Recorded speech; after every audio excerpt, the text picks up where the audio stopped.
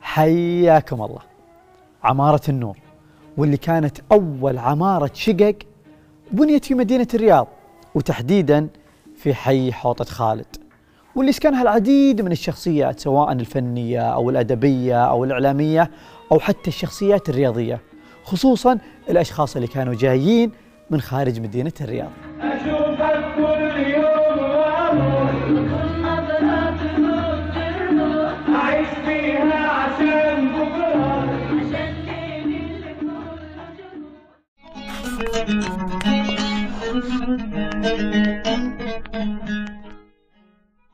الشيخ علي الطنطاوي رحمة الله عليه أحد أبرز الشخصيات اللي سكنت في فترة من الفترات في عمارة النور ومن فينا ما يذكر على مائدة الإفطار. هذا البرنامج اللي قدمه الشيخ رحمة الله عليه بأسلوبه العفوي البسيط المحبب لدينا جميعا ولهالسبب علق في أذهان الجميع.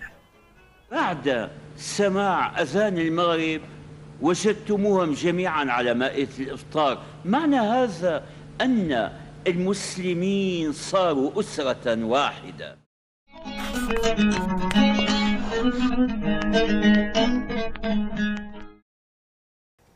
الإعلاميان غالب كامل وماجد الشبل من الشخصيات اللي سكنت في عمارة النور واللي كان لهم ارتباط وثيق وهام في تاريخ الإعلام السعودي.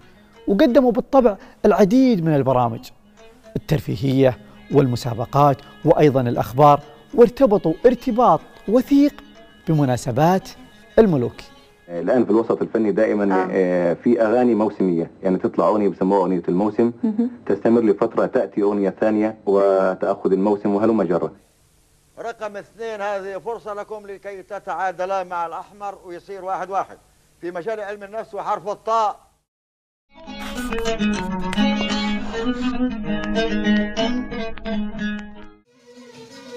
أبكي على ما جرى لي يا أهلي وقلبي أنا بالمحبة مبتلي. ولا حصل من يحل المشكلة مع ناعم العود. أنا لي مسألة. طارق عبد الحكيم رحمة الله عليه تغنى بألحانه وأغانيه العديد من الفنانين.